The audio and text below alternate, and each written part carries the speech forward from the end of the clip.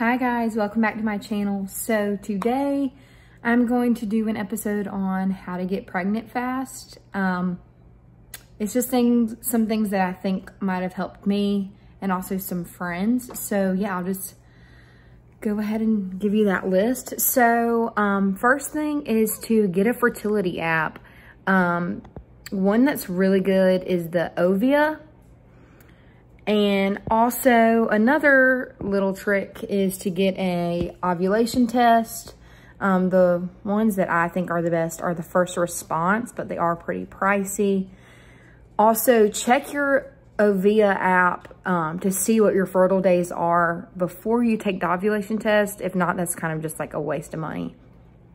Also, go ahead and start taking a prenatal that has folic acid in it um, that will definitely help. You don't have to be pregnant to take a prenatal.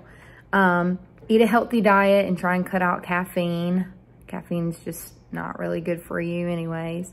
Whole milk, whole milk instead of skim or soy. Um, skim and soy can disrupt your hormone balance. And another thing that's kind of funny, and I think some people do this, like joking around, but I think it actually might help um, lay down after intercourse and elevate your hips.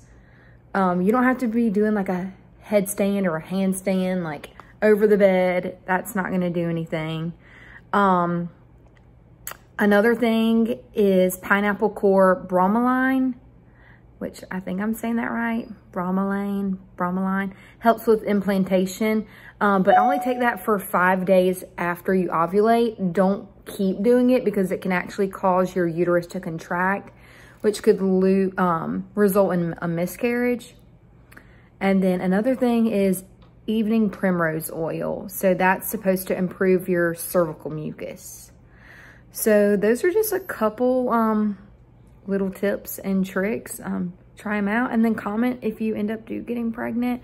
Um, that would be amazing. I know there's a bunch of Corona babies coming now. Um, but yeah, thank you guys for watching and hit that subscribe button. Thank you.